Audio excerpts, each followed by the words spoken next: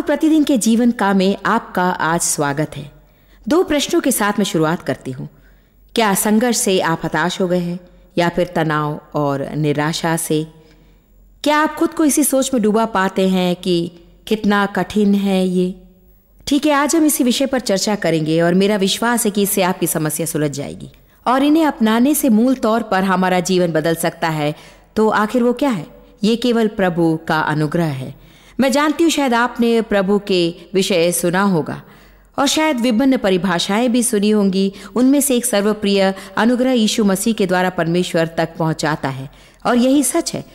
पर अनुग्रह पवित्र आत्मा की वो सामर्थ भी है जो हमारे जीवन में प्रवेश करती है। उन कार्यों को सफल बनाने की शक्ति देती है जो हमारे लिए संघर्ष के बाद भी संभव नहीं है।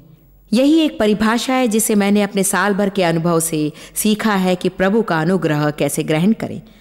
अनुग्रह प्रभु की सामर्थ्य जो बिना दाम हमें प्राप्त है, जिससे हम उन कार्यों को आसानी से कर सके जिन्हें कठिन परिश्रम और मेहनत के बाद भी हम नहीं कर सकते।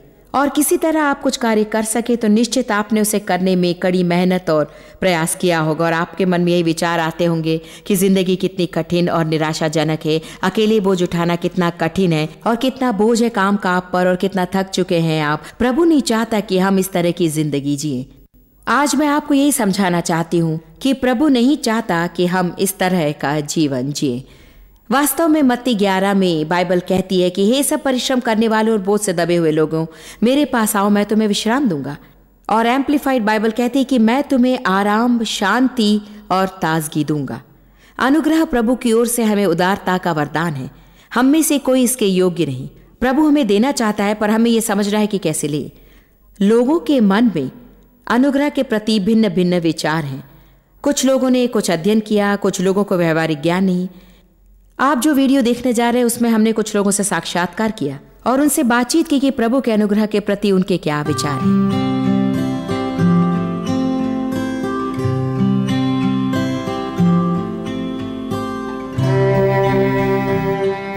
जो कुछ भी मैंने किया, अगर कुछ किया, उसने मेरे जीवन को बर्बाद ही किया और कुछ अच्छा नतीजा मेरे लिए नहीं निकला। मैं नहीं सोचती कि मैं योगी थी मुझे क्यों प्रभु चाहेगा? एक पल के लिए भी प्रभु क्यों मेरी सुधी लेगा? आप मेरे बारे में कुछ भी सोच सकते हैं। मेरी दशा तो सुअर जैसी थी। आत्महत्या करना चाहता था मैं। मुझे स्वयं से घृणा थी। मुझे अपने हाल से घृणा थी। प्रभु तुम्हें नहीं चाहता? यही जीवन है। मैं एक मूर्ख व्यक्ति थी जिसे कोई समझ बिल्कुल नहीं थी। मेरे परिवार ने मुझे छोड़ दिया। मेरे पास कुछ नहीं था। मैं तो स्त्रियों के पीछे जाता और पाप करता। मैं प्रभु को ढूँढने लगी। वो मुझसे मिले जहाँ मैं थी। मैं मौत से डरती थी, जो मेरे जीवन की सच्चाई थी। मौत का डर था। फिर भी मैं जानती थी कि यही ठीक होगा, क्योंकि प्रभु मेरे साथ था। और बपतिस्मा लेने के लिए मैंने वेदी के सामने घुटने टेक दिए। मैं बताऊँ, ये मेरे जीवन का अपूर्व अनुभव था।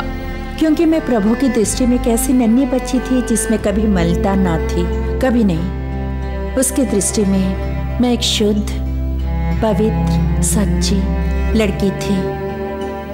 मैं उसकी बेटी थी। हाँ। वो मेरी देखभाल करता क्योंकि उसने मुझे रचा था। चार्लेट जैक्सन को प्रभु से छुटकारा मिला।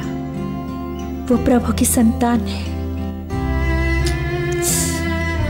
उसकी संतान हाँ मैं तो उसके अनुग्रह दया से प्रतिदिन जीते रहा। प्रतिदिन उसकी दया तो बिल्कुल नहीं होती गई। मेरी आशा प्रतिदिन नहीं हुई सच में। प्रभु के वचन से मेरे मन में एक नई प्रतिक्रिया हुई और मैं पूरी रीति से बदल गई।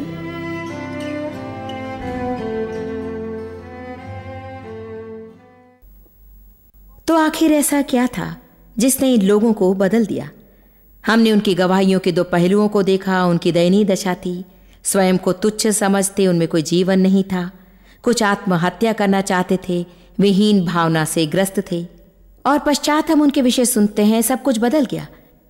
तो किसने ये बदलाव लाया?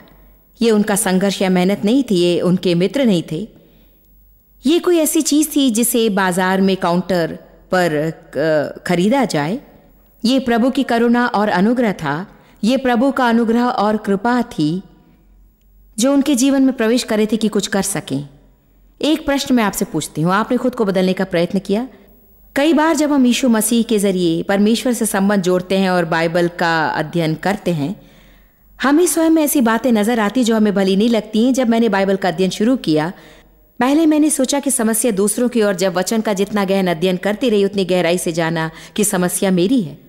तो उसके बाद एक और समस्या आई क्योंकि मैंने खुद ही अपनी समस्या को सुलझाना शुरू किया। मैं समझ गई अपनी समस्या।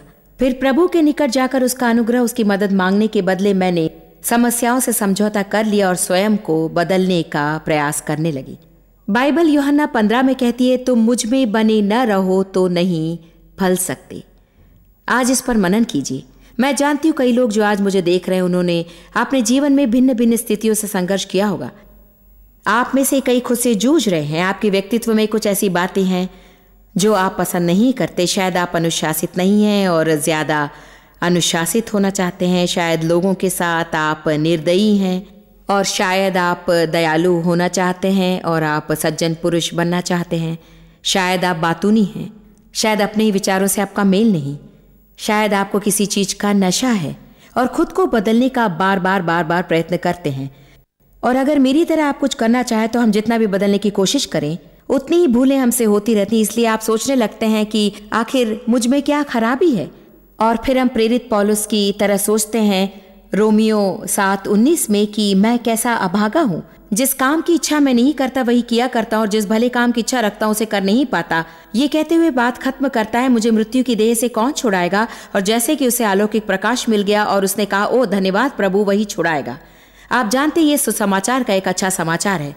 आप यीशु मसीह के द्वारा प्रभु से समझ जोड़ सकते हैं। यीशु मसीह हमारे लिए मरा, वो हमसे प्रेम करता है। तुम्हारा उद्धार एक ऐसी चीज़ नहीं जो तुम अपने भले कामों से खरीद सकते हो। ये परमेश्वर का वरदान है। हम इसे विश्वास से ग्रहण करते हैं, पर यह प्रभु के अनुग्रह से आता है। ये ऐसी चीज़ है जो हमें प्रभु की भलाई से प्राप्त है। तो मैंने यीशु मसीह को अपना उद्धारकर्ता मान लिया है। आप लोगों की तरह शायद कुछ लोग होंगे जिन्होंने नहीं अपनाया और अगर आपने अपनाया नहीं तो आज हम आपको मौका देंगे कि उसे अपना ले। कई लोग हैं जो यीशु को अपना उद्धारकर्ता मान लेते हैं, फिर भी जय की राह नहीं अपनाते। उनके विचार कभी स्पष्ट नहीं होते, सही ढंग से बात करना कभी नहीं सीखते, सही व्यवहार नहीं सीखते। फिर भी वे नाना प्रकार के दासत्व में अपना जीवन व्यतीत कर देते क्योंकि वे नहीं जानते कि परिवर्तन कैसे लाना है। बाइबल पढ़ते हैं और परिवर्तन चाहते हैं। हम बाइबल पढ़ने लगते और उस पर मनन करते हैं बाप रे बाइबल कहती है हमें जलना नहीं चाहिए और मुश्किल है कि मैं जलती हूँ। ओ बाइबल कहती कि हमें हीन भावना नहीं होना चाहिए और मैं हूँ कि हमेशा हीन भावना में डूबी हूँ। ओ बाइबल कहती कि हमारी सोच अच्छी आ, होनी चाहिए सो हम अपने मस्तिष्क को संतुलित रखना चाहते हैं। बाइबल कहती है हमें उदार होना चाहिए पर हम कंजूसी करते हैं। हम इन सारी बातों पर ध्यान देते हैं और अपने आप को बदलने की कोशिश करते हैं। हम जितना अपने को बदलना चाहते हैं उतनी ही हमें निराशा होती है इसलिए क्योंकि अपने से विमुख रहकर प्रभु आपको ऐसा करने नहीं देगा। प्रभु चाहता है कि आप उसके सम्मुख जाएँ और कहें कि प्रभु, आप जानते हैं आप सही है, इस क्षेत्र में मेरी समस्या है। प्रभु का वचन हमें अपराधी ठहराता है, पर हमें दंड की आज्ञा नहीं देता। जब आप अपने जीवन की बुराइयों की ओर ध्यान देते हैं, आप अपने आप को दोषी न ठहराएँ। दोषी ठहराना शैतान का काम है। वो हमें कुछ भी नहीं देगा, पर कुछ ऐसा देगा जिससे हम और भी खिन्न हो जाएँ। शैतान सिर्फ़ इसलिए आता है कि नाश करे, चोरी करे, बर्बाद करे। पर यीशु मसीह हमारी मदद करना चाहते हैं। उन्होंने इसलिए मृत्यु सही ताकि हमारी मदद कर सके और जब वे ऊँचे पर चढ़ जाएँ, ताकि वे पिता की दाहिनी ओर बैठें और इंतज़ार करें उस दिन का जब वे फिर से वापस आए ताकि हम सबको इकट्ठा कर सकें और घर ले जाएँ, उसने अद्भुत पवित्र आत्मा को भेजा। ये पवित्र आत्मा विश्वासियों के अंदर बसी रहती है और बाइबल में इसे सहायक कहा जाता है। सहायक। यदि आप नया जन्म पाए मसीह हैं तो आपके जीवन में एक दिव्य सहायक है। पर मैं सोचती हूँ, प्रश्न यह है कि क्या आप उसे अपनी मदद करने देंगे? पवित्र आत्मा को पूरी बाइबल में कई नाम से पुकारा जाता है, पर एक नाम जो उसका है, अनुग्रह की आत्मा, और मुझे ये बहुत ही अच्छा लगता है। अनुग्रह की आत्मा और विनय की आत्मा भी। जब हम प्रार्थना करते हैं और प्रभु से मदद मांगते हैं, तब वो अपना अनुग्रह भेजता है। यदि आप शुरुआत में हमारे साथ नहीं थे तो मैंने कहा था कि अनुग्रह प्रभु की सामर्थ्य है। जो बिना दाम हमारी मदद के लिए आती है, उन कार्यों को सहज रूप से करने के लिए, जिन्हें अकेले करना संभव नहीं, एक प्रश्न, क्या आप संघर्ष से थक गए हैं? क्या आप ऊब गए हैं और तंग आ गए हैं? हमेशा अपने कार्यों की सूची दर्शाते कि आप कितने थके हुए हैं और कितनी कठिन है ज़िंदगी। अगर ऐसा है तो मैं आपसे कह सकती हूँ, आप नहीं जानते प्रभु का अनुग्रह ग्रहण कैसे करें। अनुग्रह के द्वारा आप बचाए जा सकते हैं। अधिकांश लोगों ने कम से कम नए जन्माए मसीह ने अनुग्रह के विषय काफ़ी सुना है, अनुग्रह के द्वारा बचाए गए हैं। किंतु बाइबल कहती है, जिस तरह से हम बचाए गए, ठीक उसी प्रकार हमें जीना चाहिए। इसलिए हमें यह भी सीखना है कि अनुग्रह के साथ हमें कैसे जीना है। कल के कार्यक्रम में अनुग्रह के साथ जीवित रहने के विषय और अधिक बात करेंगे। पर एक चीज़ जो मैं आपको समझाना चाहती हूँ कि सिर्फ़ जो आपको बदल सकती है, सिर्फ़ एक चीज़ जो आपके जीवन को स्थिर रख सकती है, सिर्फ़ एक चीज़ जो आपको धार्मिकता, शांति और आनंद जीने में मदद करेगी, वो है प्रभु। किंतु हमें जानना होगा कि अपनी स्थिति बदलने के लिए उसकी मदद, उसकी सामर्थ, उसका अनुग्रह कैसे पाए? मेरे प्रियजनों, मेरी बात सुनिए। आप नहीं बदल सकते। इसका यह अर्थ नहीं कि ऐसा नहीं कि हम बदल नहीं सकते हैं। अवश्य हम निर्णय कर सकते हैं और चीज़ों को बदल सकते हैं। पर अगर कोई ऐसा कार्य जिसे हमारे भीतर पूरा होने की ज़रूरत है तो केवल प्रभु ही है जो वे सारे बदलाव कर सकते हैं। प्रभु हमें नवीन हृदय देता है और चाहता है कि हमारी आत्मा के द्वारा वो कार्य करे। केवल प्रभु ही हमें अनुग्रह प्रदान कर सकते हैं, जो हमें पूर्ण स्थिति का आभास दिलाता है कि जो कुछ हम करने पर है, वो हमें नहीं करना चाहिए, क्योंकि वो हमें समस्या में डाल सकता है और वही हमें अनुग्रह दे सकता है कि मैं सही निर्णय लूँ और वो ज़रूर देगा, यदि हम उससे मदद मांगे। आपके लिए ज़रूरी है कि प्रार्थना अधिक करें और संघर्ष कम करें। प्रार्थना अधिक और संघर्ष कम करें। काश विनय की आत्मा अनुग्रह की आत्मा आपके जीवन में मदद करे। मैंने अपने आप को बदलने में बहुत मेहनत की। प्रभु से एक प्रबल नाता जोड़ने के बाद, बाइबल पढ़ने के बाद और अपनी सारी गलतियों को ढूँढने की कोशिश करने लगी। और मैं सिर्फ़ सच में बेहद हताश थी।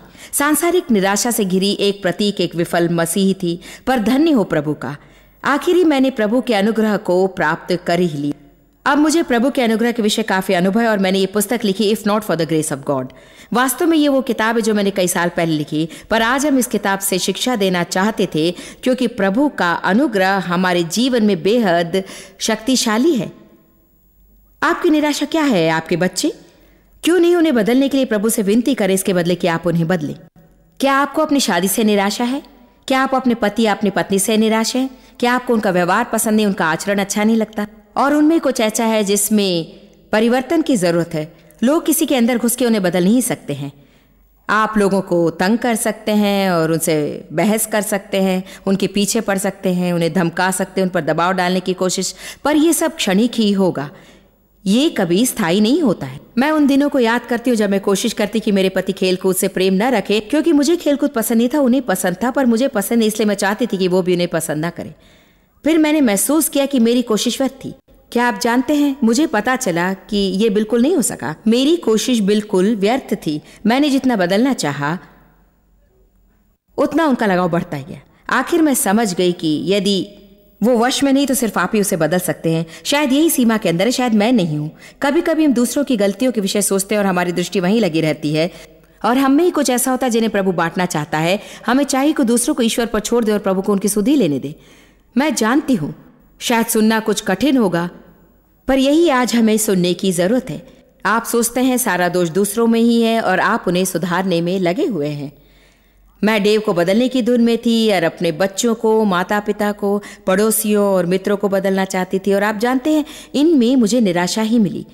अंत में मैंने जाना कि मुझे ज़रूरी नहीं कि एक छोटी पवित्र आत्मा बनकर जगह जगह घूमूं और लोगों को हमेशा दोषी ठहराती रहूँ। मेरे लिए ज़रूरी था कि उनके लिए प्रार्थना करूँ।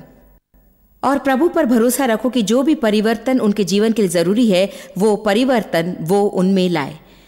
मेरा विश्वास है आप में से कई लोगों को जो इसे देख रहे हैं, इस वक्त इसी परिवर्तन की ज़रूरत है आप लोगों को भी। हम अब एक छोटा विश्राम लेंगे और जब हम वापस आएँगे, हम प्रभु की सामर्थ भरी शिक्षा को जारी रखेंगे कि कैसे आप अनुग्रह से उद्धार पा सकते हैं और कैसे अनुग्रह से जीवित रह सकते हैं और आपको एक प्रभावशाली गवाही दिखाना चाहते हैं, उस दंपति की जिनका जीवन बदल गया, जब प्रभु ने उन्हें अपने उद्धार का मार्ग दिखाया। जब बॉब और कैरोल विल्सन ने हमारी सभा में प्रभु को अपना हृदय अर्पित किया, पहली बार उन्होंने अनुभव किया प्रभु के अनुग्रह ने उनके दुखी जीवन को कैसे सुखमय बना दिया। आपको यीशु की आवश्यकता है उधार पाने के लिए। अपने हाथ उठाइए अगर आप ऐसा समझते हैं। यह आखिरी कदम था जो बॉब विल्सन उठाना चाहता था। वेदी के बुलावा को सुने और यीशु मसीह को अपना उद्धार करता माने। बॉब ने अपना संपूर्ण जीवन बिना प्रभु पर विश्वास किए बिताया। वो धर्म और धर्म व्यवस्था की परंपरा से बेहद निराश था जो उसने अपनी प्रौढ़ अवस्था से इंग्लैंड के गिरजाघरों में देखा। लेकिन जॉयस मेयर की सभा की वो रात बॉब और उसकी पत्नी कैरोल के लिए एक नई शुरुआत का गौरव लेकर आई। जब उन्होंने वहाँ पर वेदी का पुकारा दिया। मैंने अपने हृदय में जान लिया कि मेरा समय आ गया है। मैंने अपने हाथ उठाए और अपना जीवन यीशु को दे दिया। मेरी पत्नी तो पीछे चली गई थी, लेकिन वो फिर वापस आ गई। उस वक्त मैं इसके महत्व को नहीं समझ पाया। लेकिन सचमुच ये एक एक बहुत ही महत्वपूर्ण अवसर था। बहुत ही महत्वपूर्ण। मेरी माँ बहुत खुश हुई। वो करीब तीस वर्षों से प्रार्थना कर रही थी कि उनका पूरा परिवार मसीह में एक होकर जिए। धीरे धीरे प्रभु बॉब को बदलने लगा। उसका अकेलापन मरते हुए जो इन वर्षों में उसने सहा उस लत से छुटकारा दिलाते हुए जिसने उसकी दो शादियों का नाश किया था और करल के साथ वैवाहिक जीवन भी डगमगा रहा था।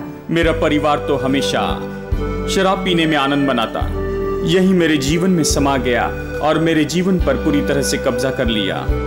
मेरे जो घर थे सब चले गए शराब के कारण। क्योंकि मैं शराब के लिए पैसा खर्च करता और बिल नहीं चुकाता था। वो काम से घर लौटता, मुझे लेता और हम दोनों शराब खाने की ओर जाते थे। वो करीब चार पाँच पॉइंट्स पी लेता, दो या तीन बिस्की फिर हम निकल पड़ते। घर लौटते हुए भी वो शराब खरीदता। दो सालों तक ऐसा चलता रहा। प्रभु की सहायता से बॉब ने अपनी बुरी लत पर जय पाई और अब उसका ध्यान अपने जीवन में दो महत्वपूर्ण रिश्तों में केंद्रित है। प्रभु से उसका संबंध और दूसरा उसकी पत्नी से। जी हाँ। हम बहुत समीप इसलिए आए क्योंकि समस्याओं से घिरे होने के कारण एक बहुत बड़ी दीवार थी और वो दीवार अब नहीं है। अब मैं सोचता हूँ कि सबसे बड़ी बात है कि हम विश्वास बना रहे हैं। यदि मैं काम नहीं करता तो पब में रहता। इसलिए एक दूसरे के साथ में बिताने के लिए हमारे पास अच्छा समय नहीं होता था। हमेशा हम लोगों से घिरे होते और गलत समय पर गलत जगह होते। एक दूसरे के लिए हमारे पास समय नहीं होता था। पर हाँ। अब मुझे आशा है कि अभी उम्मीद से भी ज़्यादा हमारे पास समय है। हमारे पास है। हाँ, हाँ बहुत अब बहुत ज़्यादा अंतर आ गया है। बॉब और कैरोल कहते हैं कि उन्हें विश्वास है कि आखिर पहली बार वे एक दूसरे को पहचान रहे हैं। जैसे कि वे लंबी रातों का अच्छा समय शराब पीने में बिताया करते थे अब वो बदल गया है। हम घर में हमेशा साथ साथ पढ़ते एक दूसरे के लिए पढ़ते हमेशा नहीं करते लेकिन सच कहूँ तो हम दोनों को और भी आगे जाना है जैसे जॉयस कहती है कि मैं वहाँ नहीं हूँ जहाँ मुझे रहना चाहिए था पर प्रभु का धन्यवाद हो कि मैं वहाँ भी नहीं जहाँ मैं पहले थी। और मैं सोचता हूँ कि उस जगह पर पहुँचने के लिए हमें एक दूसरे की मदद करनी चाहिए। हम सचमुच यीशु हाँ, मसीह से बहुत बहुत प्रेम करते हैं। अब मेरे पास पति है एक ऐसा पति जो पिता नहीं और हमने यीशु मसीह को पा लिया हाँ, है। आमेन। मतलब कोई और नहीं केवल ईशु हाँ, ईशु ही है। सही कहा।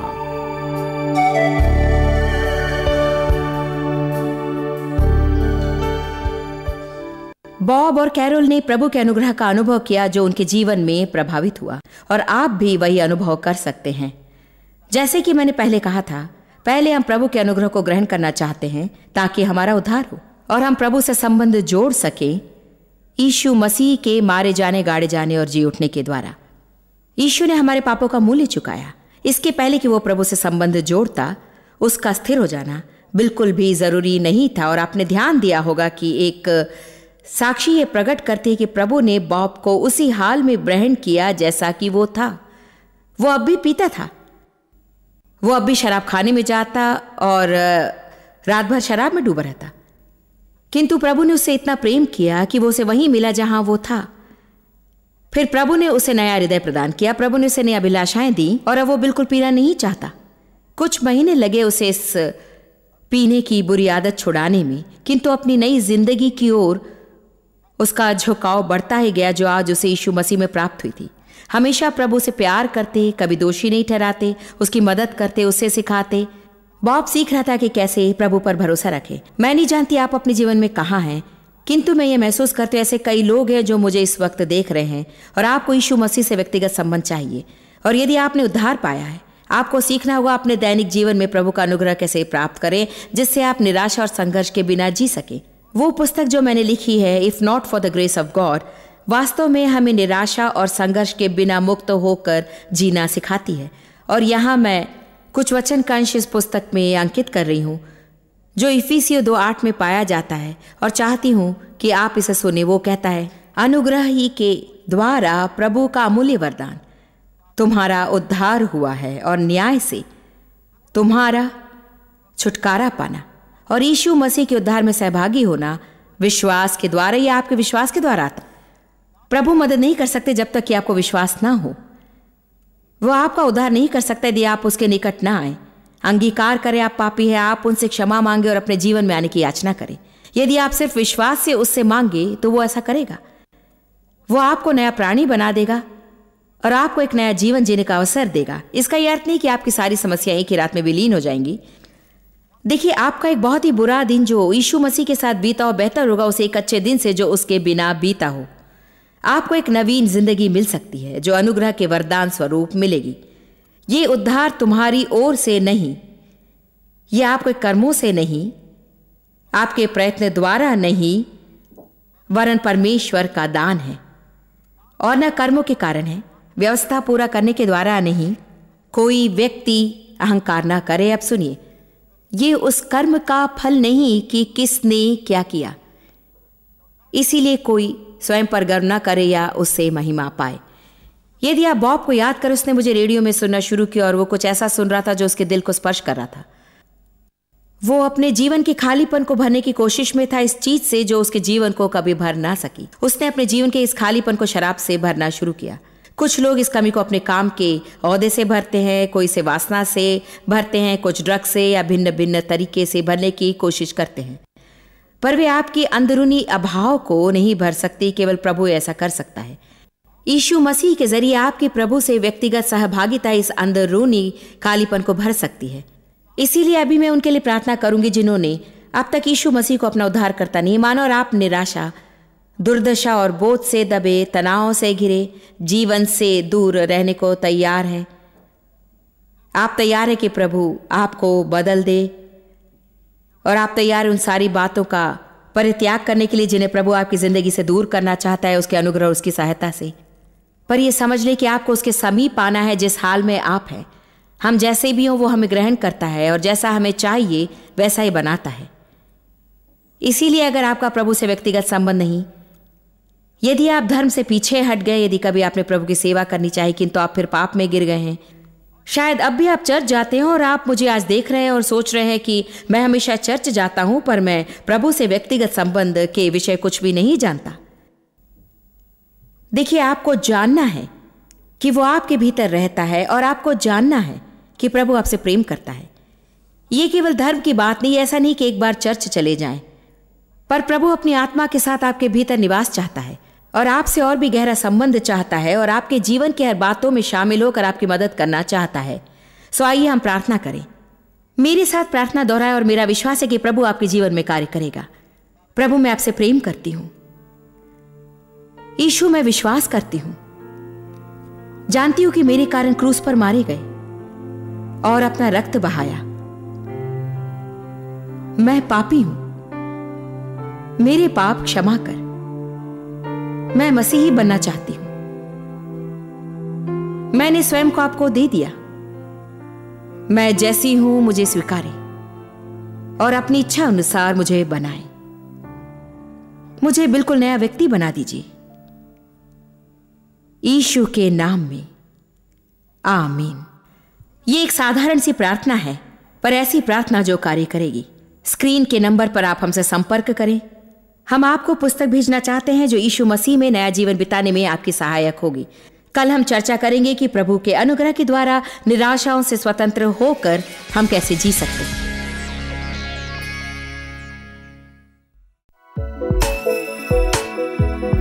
आप जितना जानते हैं उससे भी अधिक आप हमारे लिए जॉइस मेयर मिनिस्ट्रीज एशिया में महत्वपूर्ण है।